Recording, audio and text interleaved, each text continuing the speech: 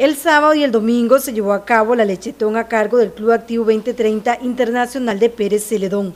Las personas se acercaron a colaborar. Con mucho gusto, porque todo lo que sea ayudar es beneficioso para todos, ¿verdad? Debemos echar en esa causa y todos colaboramos, no nos falta nada. ¿Conoce usted qué es la lechetón? No, pero, pero la verdad que no me interesa. Siendo buena, lo importante es que sea buena. Colaborar entonces. Sí, sí, sí, eso es lo que vale. Para los organizadores se contó con el apoyo de varias empresas para recoger la leche. La actividad estuvo muy movida, eh, tuvimos la participación como de 10 eh, centros de recaudación, eh, ellos nos ayudaron con litros de leche, actualmente están colaborando los scouts porque son como las personas que más, los voluntarios que más, más nos ayudan también.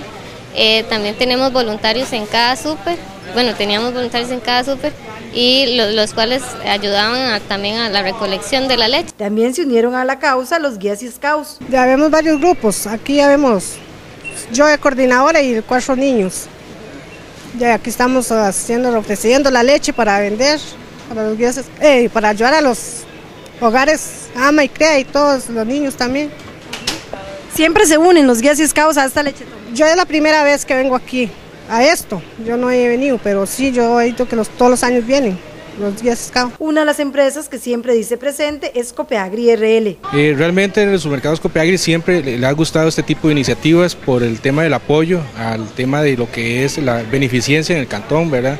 Somos el centro de que más recoge eh, leche acá en la zona y siempre con el activo el Club Activo 2030 siempre nos dedicamos a este tipo de actividades que son muy bonitas para el apoyo de la comunidad. En el club detallaron que todo lo recaudado será para hogares de beneficencia y familias ya seleccionadas. Bueno, el objetivo es recaudar los litros de leche para fundaciones que se encuentran en Pérez Celedón, tanto de niños como de ancianos y beneficiar a, a ciertos casos de familias individuales que ya se ha hecho un estudio previo para mejorar la nutrición de los mismos y es que la leche es, es el mejor alimento para las personas, entonces lo que se busca es ayudar a la nutrición. De toda la leche que se recaude, eh, tanto en, los supermercados y como en sabores, se queda en Pérez Celedón, no se va a, ningún sitio, entonces todo lo, que se recaude, sean, bueno, todo lo que se haya recaudado se queda en Pérez Celedón.